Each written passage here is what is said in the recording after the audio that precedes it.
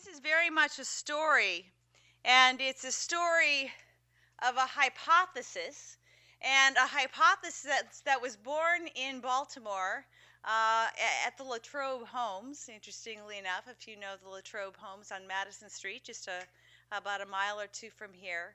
And uh, it's a hypothesis that ended up uh, bringing me to Hopkins. Uh, it's the story about a book, and here you see the cover of the book. Uh, this is a book that will be released in September by Houghton Mifflin Harcourt. And it's a story about an emerging agenda that is now um, under the direction of uh, my colleague Andy Cherlin, uh, encompassing seven researchers across three Hopkins schools. And I was interviewing uh, one young mother, Ashley, 19 years old, in the Latrobe homes on a very hot summer day. And the first thing I noticed, of course, is there was no furniture in the house except a, a, a, table with only three legs sort of propped against the wall, a lone chair, and a trash picked couch, and a, and a single mattress on the floor with a filthy uh, Bugs Bunny uh, fitted sheet on it. Uh, the second thing I noticed is that there was no food in the house. So, you know, my mental calculator, uh, the family budget calculator started going. And the third thing I noticed is that Ashley, who had given birth three weeks earlier, uh, looked uh, out of it. You know, there was something wrong with her. She wasn't supporting her baby's head properly. Uh, she was visibly depressed.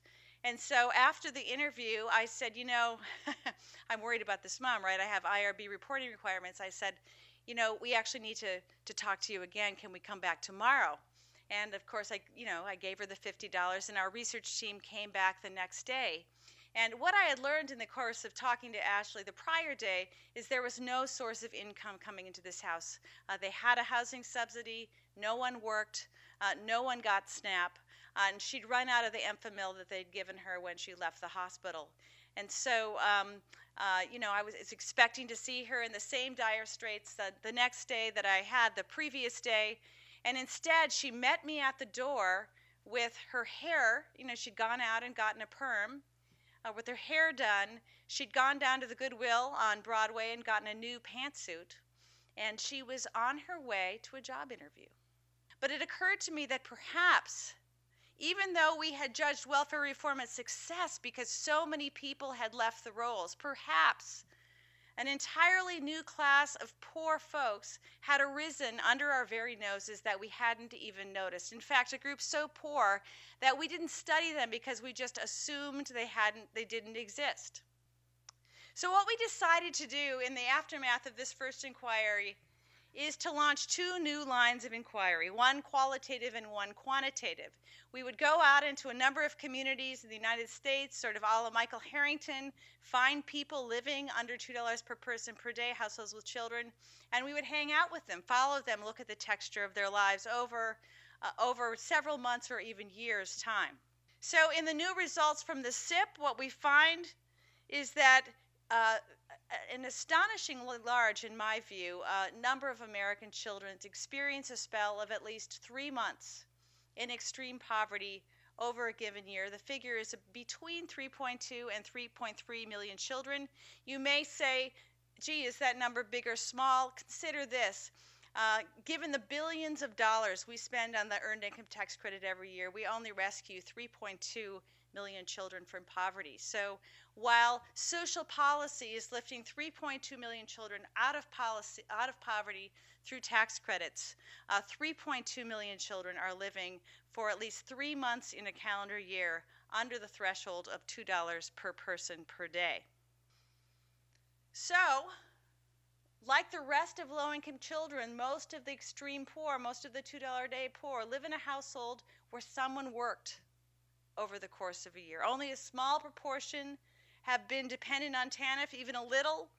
SNAP is incredibly important, but it doesn't do enough. Only half of people in extreme poverty even get any money from the, from the SNAP system.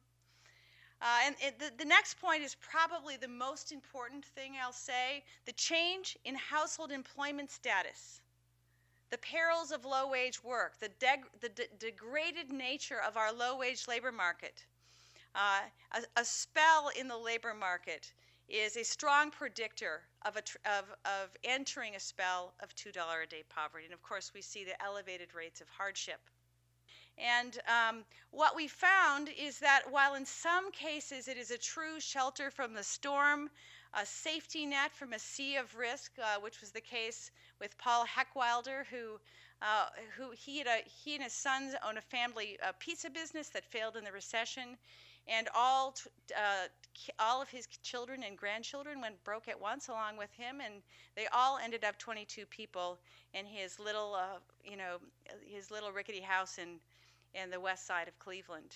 Uh, so in that case, you know, tough times. Uh, his granddaughter looks back on their their time in extreme poverty, uh, Shauna, and she said, "Grandpa, it was like pioneer days." You know, she remembers uh, she remembers all of the extreme uh, measures they went to to try to get by on life on less than two dollars a day, while while li- living badly doubled, tripled, quadrupled up in this tiny home in West Cleveland.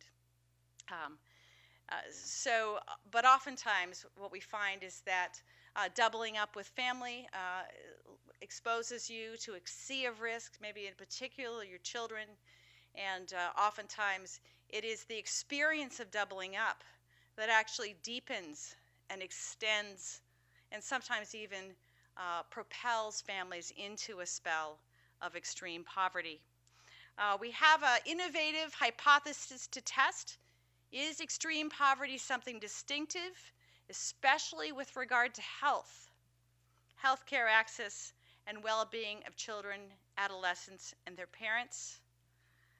We're proposing pilot research activities in Baltimore and in Somerset County uh, on the Eastern Shore, one of the poorest rural counties in Maryland.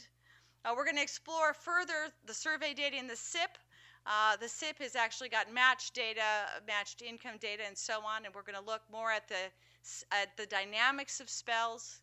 Uh, and in an innovative exercise that's going to be mounted by Robert Moffitt, uh, we're going to see how extreme poverty looks when we actually add in the value of health benefits. So far, the supplementary poverty measure has not done this, but we have a unique data source, the MAPS that'll allow us uh, to look at the overall level of resources from the government in this in-kind uh, arena that the that the extreme poor in the United States may be enjoying that may be unavailable to the extreme poor in the rest of the world.